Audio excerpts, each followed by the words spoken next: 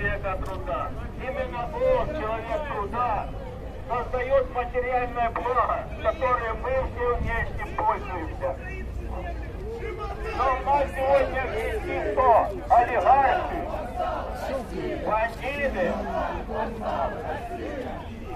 Мы, к сожалению, в последнее время неофашисты. А что делает, а что делает товарищи олигарх? Он сладко бьет, он жрет и что удобряет нашу землю. Это все его занятия.